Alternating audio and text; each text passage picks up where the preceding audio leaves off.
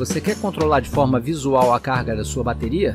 Vamos dar uma olhada nesse projeto bem simples e prático. Olá pessoal, sejam bem-vindos a mais um vídeo do canal Eletrolab. Hoje vamos fazer um projeto muito bacana, simples, mas muito útil aí para quem carrega baterias de uma forma geral. Um circuito que mostra o nível da bateria, indicando se ela está plenamente carregada ou não, ou parcialmente carregada. Ok, pessoal? Antes eu queria deixar aqui o meu agradecimento a todos os apoiadores do canal que estão conosco muitos já há algum tempo, embora seja um grupo ainda muito reduzido. Fica aqui o meu muito obrigado, porque o apoio sempre é muito importante para que o canal continue crescendo. Ok, pessoal? Muito obrigado. Bom, vamos lá. Vamos fazer um projeto de um instrumento que mostra o nível da sua bateria. Especialmente eu vou fazer aqui para baterias de 12 volts, mas você pode adaptar para outras tensões também, ok? O circuito é muito simples, ele utiliza o famoso LM3914 que eu já mostrei aqui no canal em outras ocasiões. Tá? Existe tem um vídeo explicando o funcionamento pino a pino desse integrado para quem quiser se aprofundar mais. Mas eu vou aqui direto no projeto mostrar o circuito e como funciona. Só uma passada rápida aqui nos pinos para a gente não ficar totalmente perdido. Tá? O LM3914 é um, uma série de comparadores de tensão que vai acionar 10 LEDs na sua saída, tá? sendo que a saída do primeiro LED aqui no pino 1 e as demais saídas entre o pino 18 e o pino 10. Ele é um CI de 18 pinos, não é um CI caro, mas é um CI que tanto pode funcionar para bar graph de LEDs, né, que, é, que seria o indicador em barra, como de ponto também, em que LED a LED vai acendendo gradualmente e o de trás vai apagando. Tem essas duas modalidades que podem ser utilizadas. Tá? Ele tem aqui a alimentação aqui entre pino 2 e pino 3. E o sinal entra no pino 5. Você pode ajustar a intensidade dos LEDs conforme a corrente que vai para eles, diretamente aqui no pino 7. E o pino 9, você vai determinar se você quer gráfico de barras ou de pontos. Tá? Tem as duas modalidades aqui para utilizar o LM3914. Só uma passada rápida aqui e a gente já vai direto para comentar o circuito e a montagem. A montagem foi bem simples, eu montei aqui numa placa universal, ok? A placa universal facilita bastante, é montado como um protótipo. São pouquíssimos componentes, basicamente são três resistores, um trimpote ou circuito integrado e 10 LEDs. Tá? Aqui eu utilizei esse conjunto de LEDs aqui que já estavam montados, ficou fácil de colocar, mas você pode botar 10 LEDs isolados, independentes, inclusive variar a cor deles. Ou comprar aqueles módulos de LED já prontos, que são coloridos, muito bonitos, inclusive. Esse aqui eu tinha aqui no, no estoque e botei ele aqui direto. Então eu não estou utilizando esses LEDs aqui do fundo, somente usando esses primeiros LEDs aqui da frente. Ok? Então vamos lá, montagem. E após a montagem, a gente fica com o seguinte diagrama, né, que a gente vai conseguir ver em detalhes as ligações. Está aqui o LM3914. Pino 1, como eu disse, é o primeiro LED. Ele vai direto aqui. Repare, você liga o LM3914 nos catodos dos LEDs, ok? Todos os anodos vão ligados em conjunto, direto no mais VCC, no positivo da bateria, tá? Todos ligados em conjunto lá, sendo que os, os catodos vão sendo acionados pelo LM3914. Tá? A alimentação, como eu disse, pino 2 e 3. Tá? Aqui, ó, a alimentação da bateria vai direto no pino 3. O pino 2 vai direto ao terra. Ok? Depois, você tem no pino 3 um resistor de 56K e um trimpote de 10K. Esse trimpote de 10K vai ajustar os limites de tensão, porque ele gera uma tensão de referência interna. Eu expliquei isso, inclusive, com fórmula no vídeo anterior, para calcular certinho é, qual é a tensão de referência que vai variar de LED para LED. Então você ajusta aqui que ele vai jogar para a entrada, que é o pino 5, uma tensão graduada para você definir os limites conforme o seu, o seu, tipo de bateria. O pino 6 e 7 aqui estão interligados. Esse resistor aqui está com valor de 1K, ele vai determinar a intensidade de corrente dos LEDs. Então, se o seu LED exigir mais corrente ou menos corrente, você pode até botar um resistor fixo aqui de 470 ohms e um trimpote de 4K7 em série e você ajusta a intensidade de luz dos LEDs. Eu botei um K porque para esse meu conjunto de LEDs aqui a intensidade ficou razoável. Tá? O pino 8 vai direto ao terra e E o pino 9 a gente pode botar uma chavinha ou não. Se você quer definir que seja ponto ou barra. Se você quiser ponto direto, é só deixar ele em aberto ou então aterrar. Se você quiser que seja barra, você liga direto aqui no mais VCC, na entrada, tá? na entrada positiva. Com isso ele vai permanece os LEDs acesos à medida que é, vai tendo mais carga. O que eu acho ideal aqui para medida de intensidade de, carga de bateria, eu acho que o bar gráfico fica, fica melhor, né? Você vê aquela, aquela barra enchendo, quer dizer, a bateria está enchendo também, ou não. Tá? E você pode também depois ajustar aqui para o trimpote para determinar quando é 10%, 20%, 50%, 80%, 100% de carga da bateria e fazer até uma escalinha ali para cada grupo de LEDs. Tá? São 10 LEDs, lembrando que são 10 LEDs na saída. Então é bem simples, eu vou deixar o esquema aqui visualmente aqui para vocês poderem é, replicar o projeto. O projeto, como eu disse, pode ser montado numa placa universal, porque são pouquíssimas conexões, ou fazer uma, uma PCB para ela, uma placa de circuito impresso dedicada também é uma boa, tá? Para poder fixar aí no seu carregador de bateria. Então vamos lá, tá aqui o, o projeto, vou mostrar aqui o funcionamento. O que, que eu fiz? Tá aqui o grupo de LEDs, tá? Ele está ligado na fonte, liguei numa fonte.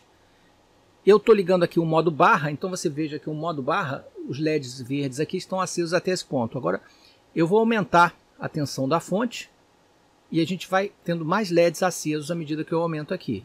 Olha, só para informação, eu estou com 11,3 volts, 11,8, 12 volts, já acendeu o primeiro vermelho, e acendeu o segundo vermelho agora 13, 12,5 volts. Eu posso ajustar que a bateria seja, por exemplo, 13,8 para determinar que ela está completamente carregada, então eu ajusto.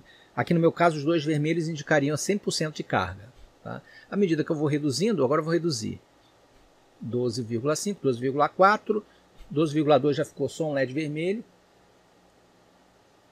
11,8 só tem os verdes, e eu vou diminuindo aqui, ó, 11 volts, 10, 10, 9, 9,1, 8,9. Abaixo de 9 volts, ele apaga tudo. Tá?